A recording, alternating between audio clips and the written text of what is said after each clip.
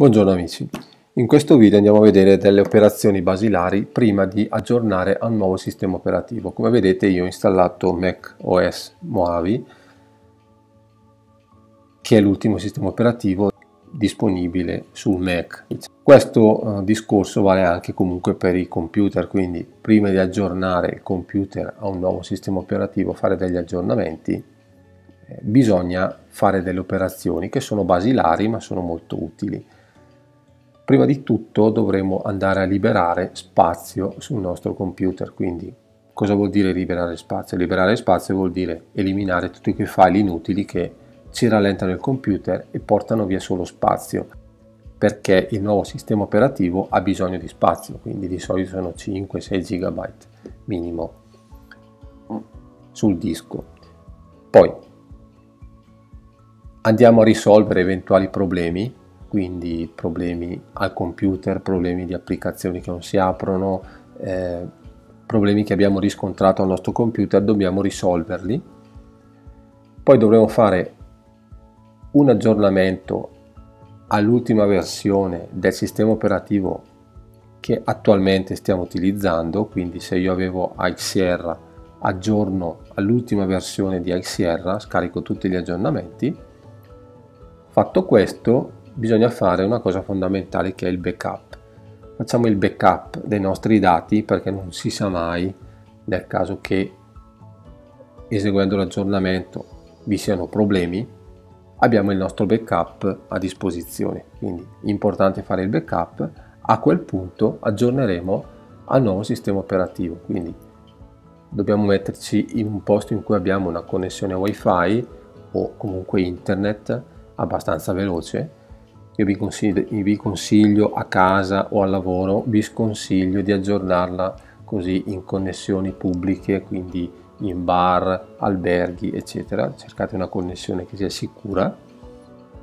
A quel punto andiamo ad aggiornare il sistema operativo. Per fare le operazioni che vi ho descritto prima, quindi pulire il Mac, liberare spazio, controllare, risolvere problemi, io vi consiglio un'applicazione un'applicazione chiamata Clean My Mac, in questo caso la versione 10, quindi la X. Perché vi consiglio uh, questa applicazione che è disponibile sia per Mac che per PC? L'avrete, molti di voi l'avranno già sentita nominare, è un'ottima applicazione che eh, fa un po' tutto, quindi eh, è un'applicazione che racchiude al suo interno eh, molti tool per fare la manutenzione del proprio computer.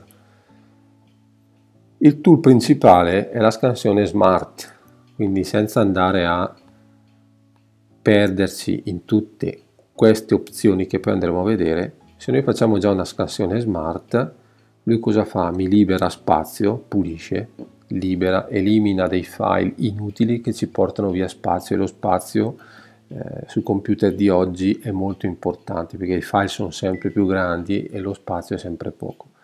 Come vedete io libero solo 49 mega, 47 mega perché l'avevo già fatto prima. La protezione quindi ha controllato se c'erano dei malware, delle minacce e sono a posto, non ci sono e la velocità aumenta le prestazioni del sistema. Tre attività da eseguire, facciamo avvia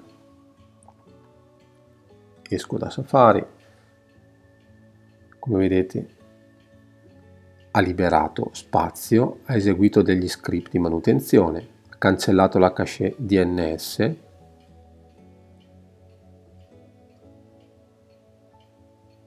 e sta liberando la RAM, sempre molto importante la RAM perché se abbiamo più applicazioni aperte allo stesso tempo oppure applicazioni molto pesanti sul nostro computer la RAM è fondamentale quindi bisogna fare in modo di sfruttarla al massimo. Come vedete ha eseguito queste tre attività. Noi potremmo eliminare solo i file. Abbiamo la possibilità di eliminare eh, ottimizzare i dati della libreria foto, rimuove tutti i dati che non hanno a che fare con le tue foto attuali, rimuove la cache locale di iCloud, gli allegati di mail, eh, iTunes mi trova dei dati iOS obsoleti, quindi dei vecchi backup che avevamo fatto e che portano via tantissimo spazio sul disco, quindi se noi avevamo un, un telefono 2, 3, 4 anni fa e non ci siamo ne abbiamo comprato uno nuovo, abbiamo fatto il backup di quello nuovo, ma i backup di quelli vecchi sono rimasti e sono decine e decine di gigabyte. Rileva dei download danneggiati che non servono, vengono cancellati Abbiamo già visto la rimozione dei malware, la protezione dei dati, quindi cancella le cronologie e ripulisce i dati della chat. Esegue una manutenzione specifica, quindi reindicizza Spotlight e qui ci dice che cosa fa, perché dovrei utilizzarlo. Diminuzione generale delle prestazioni di ricerca. Come mai non mi trova i file, come mai è lento. Clicchiamo qui, avviamo e lo reindicizza. Ripara i permessi del disco, perché dovrei riparare i permessi del disco? Me lo dice lui. Mi dice che cosa fa questo tool e mi dice quando lo devo utilizzare. Funzionamento non corretto di applicazioni, spostamento e eliminazione di file non possibile. Vi sarà capitato di sicuro di voler cancellare dei file e vi dice non si può cancellare questo file perché il sistema lo sta utilizzando, impossibile cancellare il file. Andiamo qui e risolviamo il problema.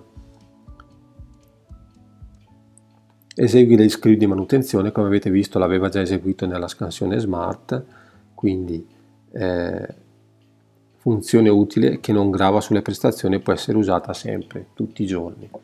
Perfetto.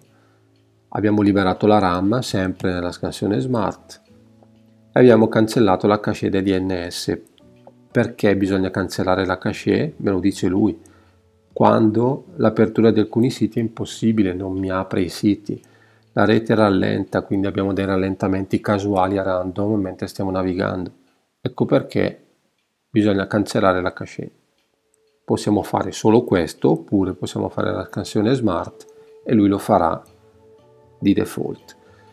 Una funzione molto importante è la disinstallazione, quindi possiamo disinstallare le applicazioni in modo sicuro e completo, quindi non soltanto trascinando l'applicazione dalla cartella applicazioni al cestino, perché alcuni file rimarranno comunque nel nostro computer. Quindi cosa faremo? Andiamo a selezionare l'applicazione che vogliamo disinstallare e facciamo disinstalla, ci eliminerà tutti i file relativi a quell'applicazione molto utile. File grandi e vecchi, questo anche questo è utilissimo se noi facciamo scansiona lui ci troverà i file che sono all'interno nei meandri delle cartelle del nostro computer che portano via tantissimo spazio. Come vedete Lightroom Library mi porta via 3,2 GB ad esempio questo frame che non so cosa sia mi porta via 347 megabyte. Calcolate che io l'ho già utilizzato quindi c'erano dei file addirittura di 3, 4, 5 giga che io non sapevo nemmeno di avere, non ricordavo nemmeno di aver scaricato o creato. Quindi a volte dei file creati da Premiere o da Final Cut sono dei file davvero grandi che potrebbe essere utile eliminare se non ci interessa di avere dei backup oppure di fare un backup e fare dei backup su hard disk esterni liberando tantissimo spazio. Quindi questa è una grandissima funzionalità, individuare i file grandi e vecchi.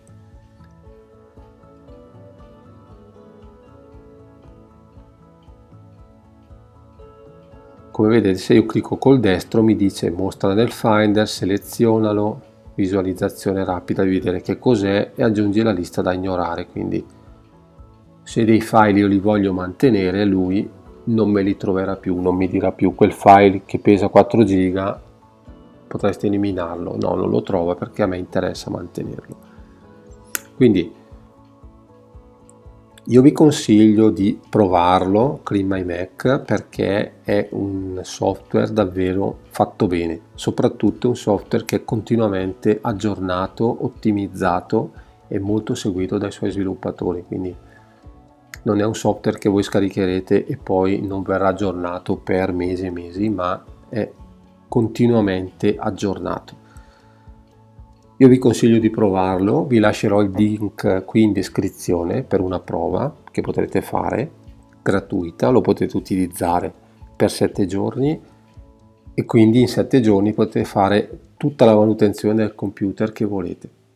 Se poi vi interessa lo potete anche acquistare. Comunque nel link in descrizione vi lascio eh, questa prova gratuita, assolutamente gratuita, non dovete pagare nulla e avrete le funzionalità complete di questa bellissima applicazione, di questo bellissimo software. Io vi ringrazio per la visione di questo video, andate a provate Clima Mac, io ve lo consiglio e io vi aspetto al prossimo video.